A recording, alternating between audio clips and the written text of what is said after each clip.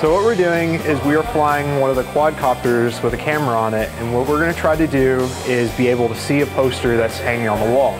How this relates to real life is that when an operator is out in the field, sometimes it's too dangerous to actually go and see field measurements. Now the poster is going to have a general diagram of what the unit's supposed to look like, and we're going to see if we can read it and apply it to real world applications. Lamar is one of the few colleges in the state that, and possibly even in the nation, that is actually testing this theory to try to use drones in a chemical plant situation.